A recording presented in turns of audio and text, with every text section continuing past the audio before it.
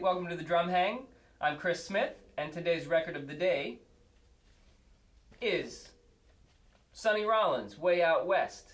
Great record, recorded uh, by the Contemporary label and released in 1957. Features Sonny Rollins on tenor saxophone, Ray Brown on bass, and the legendary Shelly Manne on drums.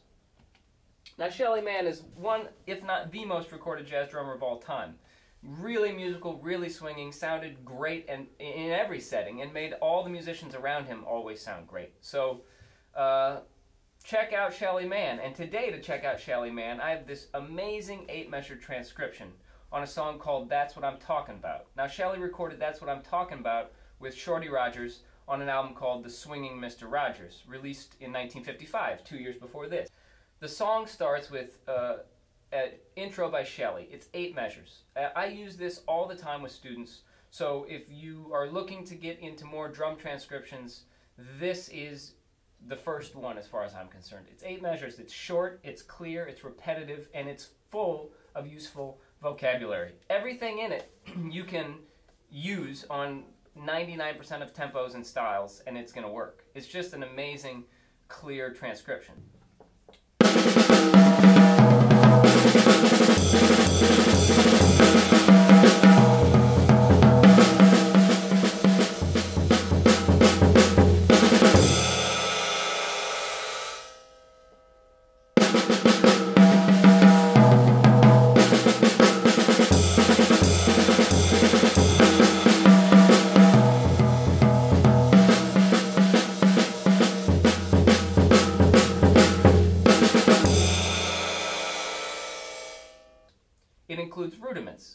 Five-stroke roll.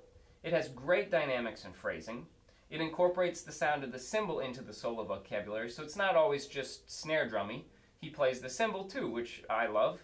Um, it, it forces students to work on stickings. There's a triplet phrase he plays, and there's a left accent and there's a right accent. And that's what jazz drummers do. We use stickings. We don't go alternating all the time. Right, left, right, left, right, left, that's rock. We don't do that. We have to sound like a horn player. So we use stickings to achieve that. Diddles, double rights, double lefts, and this is a great introduction to that. Um, swinging eighth notes between the hand and the foot is a great exercise, and Shelly does that in this transcription. Uh, it's really hard to play them consistent, swinging, and then he puts a dynamic shape to them, which is a whole other exercise, right?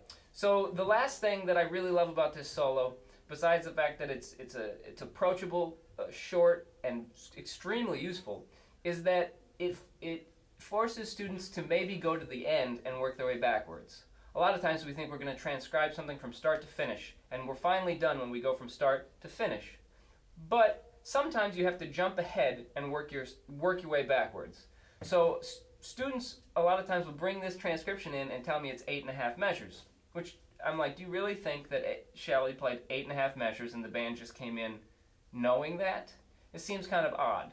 So, that being said, where they feel beat one is, or where they feel this transcription starts, may not always be where it does. And the key is, he starts it and ends it exactly the same way. It's very thoughtful. It's it's incredible, man. It's Shelly Manne. So let's check this out. A couple pieces of the vocabulary broken down. Um, the first lick that and triplet 1 and triplet 2, I use a right, two left diddles, and a left accent.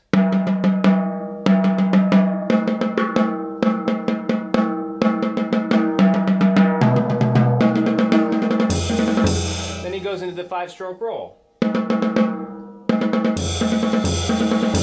Utilizing the sound of the cymbal. Then he slickly gets himself, himself to these uh, swinging eighth notes where I'm focusing on trying to play in the middle of the drum so that I get a good sound. Because a lot of, you know, if you don't think about where you're playing, why doesn't it sound like Shelly Manne? And why don't I sound like I have a full drum sound? As well, you're not, you don't give yourself a chance. Play in the middle of the drums. Those eighth notes with the dynamic shape is really hard to keep them swinging and in time. And then super slick, he ends with the same triplet phrase he started with.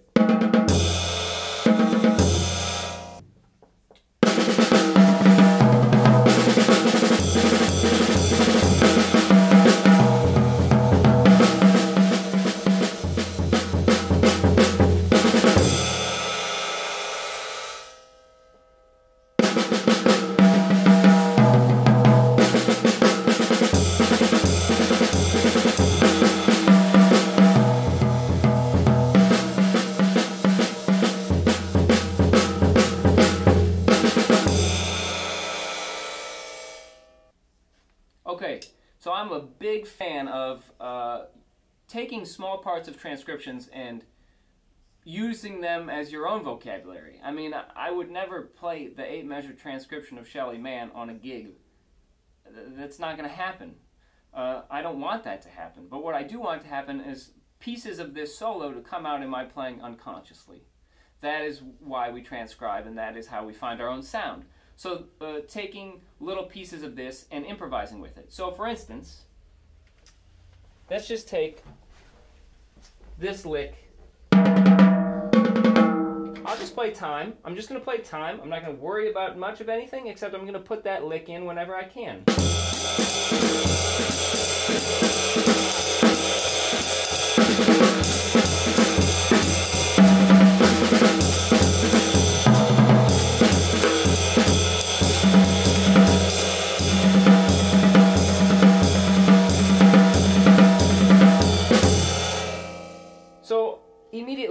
Started changing the stickings even a little bit, which is great. I'm starting to explore that, and I used my cymbal. I'm moving around the kit. That's what this is about. You can do the same thing with those eighth notes.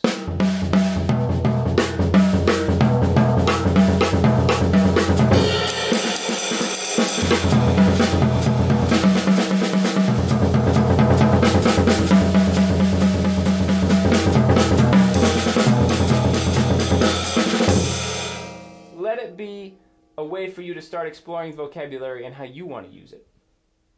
Of course, I'm always here for private lessons, online or in person. If you're interested, I would love to hear from you.